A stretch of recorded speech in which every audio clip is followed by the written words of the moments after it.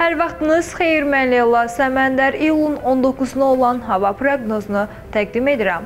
Milli Hidrometeorologiya Xidmətindən verilən məlumata görə Bakıda və Abşeron yarımadasında hava şəraitinin yağmursuz keçəcəyi gözlənilir. Cənub küləyi əsəcək. Havanın temperaturu gecə 17-22 dərəcə isti, gündüz 27-32 dərəcə isti olacaq.